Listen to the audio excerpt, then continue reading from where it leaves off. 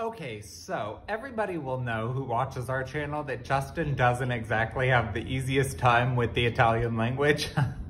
And today he went grocery shopping and one of the things he was supposed to buy me was deodorant.